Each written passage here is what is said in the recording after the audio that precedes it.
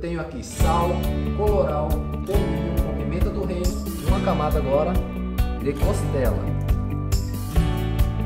Desmanchando, olha só, maravilha pessoal.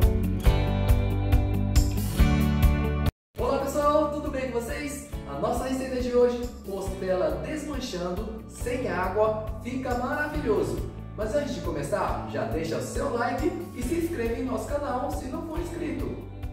E aqui eu tenho 1,3 kg de costela bovina. E vamos começar temperando com 4 dentes de alhos picadinhos. E aqui vamos temperar com os temperos secos. Eu tenho aqui sal, coloral, cominho com pimenta do reino e chimichurri.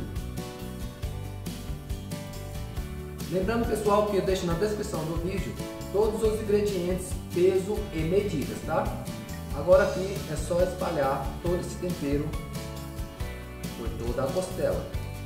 Feito isso, costela temperada, eu tenho aqui três cebolas cortadas em rodelas, tá pessoal? E vamos fazer aqui a primeira camada de cebola. Feita a primeira camada, nós fazemos uma camada agora de costela. Faça outra camada de cebola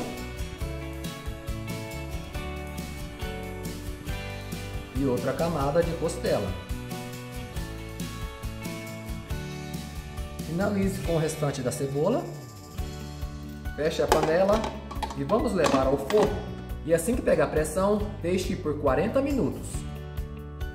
Passados 40 minutos, agora vamos ver como está a nossa costela. Olha só que maravilha.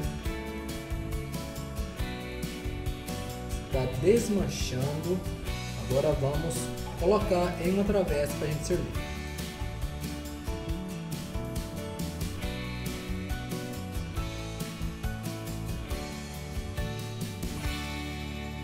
E agora é só finalizar com coentro e cebolinha a gosto.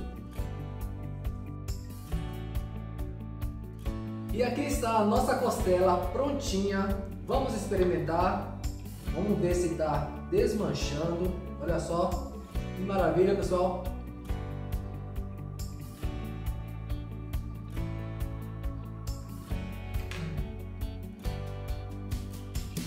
Olha, a costela ficou maravilhosa, desmanchando na boca. Espero que tenham gostado.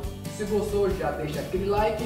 E se não for inscrito em nosso canal, já se inscreva para não perder os próximos vídeos. Tchau!